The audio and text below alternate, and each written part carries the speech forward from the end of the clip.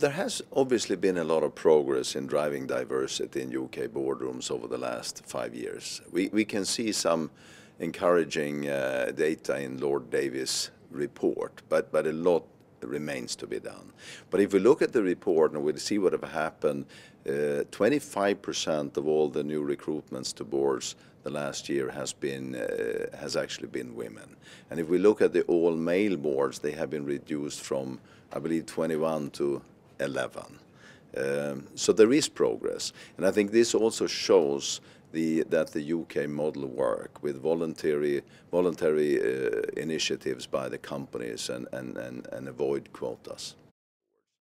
There are numbers of, of studies that show that, that companies and organizations can be more effective uh, with more diversity, a, a more a richer and, and, and, and broader discussion as a result. Uh, and I can see from my own experience as both an, uh, president, CEO, and, and, chairman, how what it really means to have people from all different parts of society, and gender, and sex, and race, and what, what, what, what have you.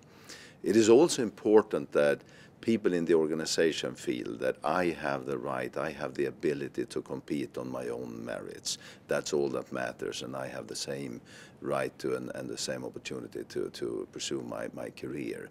Uh, and it's important to create role models because when you think about uh, when you think about these people, they are the pipeline for uh, for for our, our next board. So they need to be inspired and see that they have the opportunity.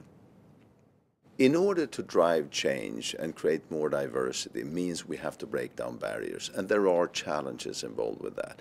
First of all, there are, uh, with the situation we have, there are just fewer women to choose from that have the long experience that, that is required. It's a smaller pool, and there are even those that suggest that women don't have the tradition of making themselves visible in the same way as, as men do.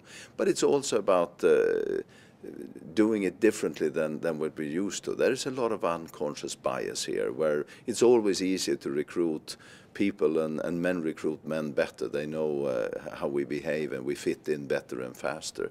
But the thing is to get around that and, and make sure that people can appreciate the richness of the debate and the, and the board work that, that, that follows when you get more women on board.